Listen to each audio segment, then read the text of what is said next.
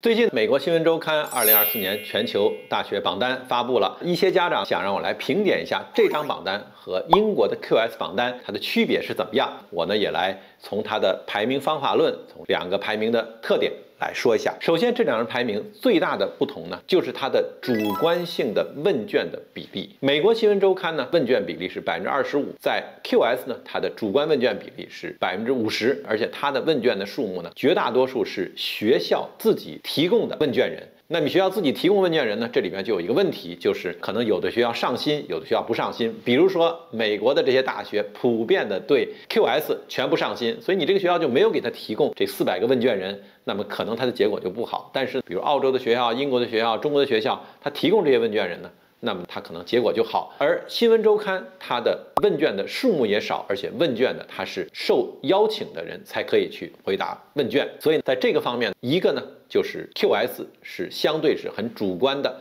新闻周刊相对比较客观的。第二呢，新闻周刊这张排名呢，非常的强调它是注重学术因素，就是这个学校它的。研究成就，这里包括它的论文的数目，而且是在国际领域的前百分之十的论文数目，甚至是前百分之一的论文数目，这里边占了非常大的比例。而在 QS 排名呢，这样的比例非常的小。第三点呢，就是 QS 因为它是在英国的排名，那它的目标呢，其实也是想要知道英国的这个学校在国际当中的地位。所以在这个过程中呢，他。确实就是要找这些英国英联邦学校的优势，因为他在学术上，你的论文什么样啊？你出的诺贝尔奖的获得者呀，或者科研经费，他可能就是比不过美国的学校，所以呢，他呢就会找一些他有优势的地方，比如说在他的排名里面，国际学生比例越高，那么他的排名就越高。那这个呢，我觉得好像不太合理。对吧？国际学生比例越高，不能说明这个学校的科研好、学术好或者就业好。再有呢，就是他编了一个叫可持续，叫 sustainability，占了百分之五。那你说一所大学它更可持续，这到底是怎么来评估？到底是不是我们作为学生或者家长选择这个学校的原因呢？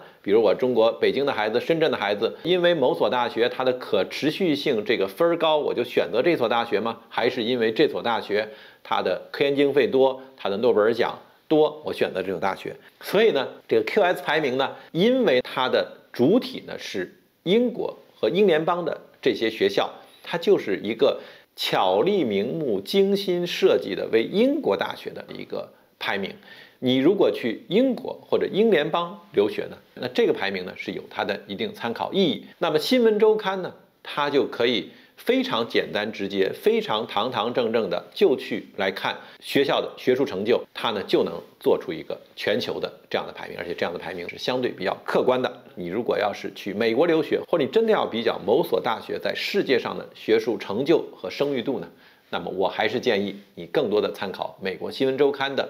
全球排名，那关于 QS 排名和新闻周刊排名的比较呢，我就讲到这儿，希望对你呢能有所帮助，有所启发。最后，我想提醒呢，就是你不要说我就只因为某一张排名就去定了我未来的前途了，尤其不要只根据 QS 排名来定下你未来的前程。希望今天讲内容大家有所帮助。另外，我想跟大家说一个通知，我呢在七月十号到七月三十号呢，会在中国的八个城市巡回做讲座和见家长。呃，因为最近这段时间呢，确实美国的国际教育有很多的变化，而且大家出国的动力啊，出国遇到的情况啊，也非常的不同，所以我想当面和大家讲一下美国真实的高等教育的情况，包括排名，包括学业，包括就业，希望呢对大家有所帮助。如果你觉得今天讲的内容还不错，可能也能帮到你的同学、朋友、室友和家人，可以分享给他们。可能你的一次分享就能改变他们的留学道路，甚至人生轨迹。好的，我是陈老师，我们下次再见。